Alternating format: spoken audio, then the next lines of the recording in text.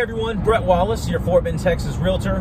Wanted to talk to you today for a couple moments about home inspections. What are they? Um, do I need them? Um, how much do they run? And a couple other things like that. And uh, what, what do you do once you find things, right? Because every home's going to have things noted on the inspection, even new homes.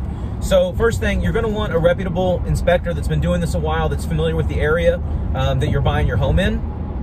Um, your real estate agent should have a couple referrals for you in their preferred inspector, and maybe your family, friends, neighbors have used an inspector where they had a great uh, experience with.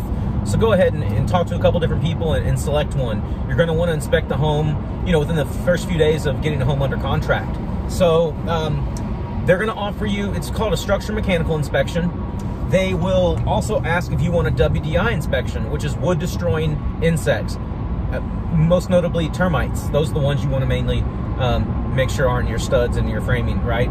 So um, here in Texas, you, you know, an average size home, 3,000 square feet, you know, 450, 500 bucks for a structure mechanical, and then, you know, 75, 85, 100 dollars even for a termite. That's kind of, that's kind of, that's kind of in line. You know, everybody's gonna be a little different. So um, also new home inspections, there are three, typically three phases. There's uh, the pre the pre foundation, the pouring of the concrete and the slab, then your pre drywall before the drywall gets hung and you have the framing up and all your mechanicals. That's the best inspection. Um, third is your final. You can always get a final inspection anytime. So that's the resale inspection. That's what if you're buying a home that's 20 years old, you're basically to be getting the third phase inspection, which is the final, the, the, the home, the completed home inspection. So um, once you get the inspection, typically if my inspector says, hey, I'm gonna be there at 12 and it's gonna take three hours, I usually arrive at 2:45 to 3 o'clock, like when they're when they're wrapping up, so that that way we can walk through the findings, his notes, his pictures on his digital camera, um, and we can kind of go over the main the, the, highlights of his findings. And then of course the next day you'll get the report supplemented with um, codes cited with pictures, uh, basically a color a color inspection report with color photos and you know arrows pointing to the exact deficiency.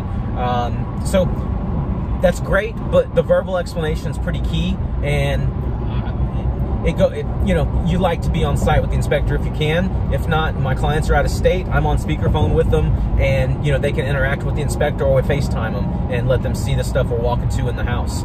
So um, that's kind of the inspection process for the structure mechanical.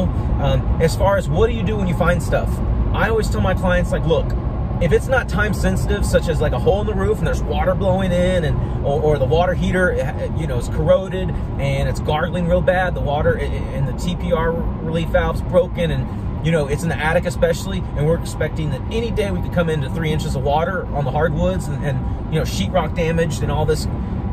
Anything time sensitive, you may want to ask the seller to do that repair, you know, as soon as possible because they might not have known about it. And if it's time sensitive and ticking time bomb, you don't want you don't want to do a 30 day contract with that in the back of your head thinking, man, this could destroy, um, this could be a 20, 30,000 dollar, you know, damage during the contract. So, um, but for, for mostly every other thing, it's easier to ask for a dollar allowance um, every situation is different. Again, this is Texas. This is Fort Bend County, Texas. Um, this is kind of how we do things here. It might be different other places. By all means, refer to your own real estate agents and professionals in your own area uh, for their guidance. And um, but here, I, I would instead of you know asking for five, six, seven small things for the seller to do, and again, they might repair things differently than the way you would um, as the outgoing party to the property as the incoming party that you would. So you might do a repair like I would have done it this way and a lot more thorough and it would have cost more. It just sort of a gray area. Um, it's kind of, you know, for the most part, let's ask for monies. It's just cleaner, it's neater. The seller will get a little bit less of a check the day of closing, and that way you can fix the house at your time and dime and to the extent of the repair you want. Um, and it just makes things easier on the negotiations. So um, again, structure and mechanical inspections, vital. Termite inspection, unless it's a brand new home and there's nothing around, um, we generally say always get a wood destroying insect inspection, and a lot of people even do them on new homes. Um, but they're absolutely vital. If you want to buy a home, um, unless you're a cash buyer and investor and just getting a ridiculous deal on the house, it, it, it's pretty much a requirement to work with me if you're going to buy a home and I'm involved that you get an inspection right? Unless you're just, you know Mr. Big Time Investor and, and you're getting it for 60 cents on the dollar and you don't care if an extra 10 or 15,000 in damages is found. That's that's that's different. But for your average home buyer, everyone's going to want to get an inspection.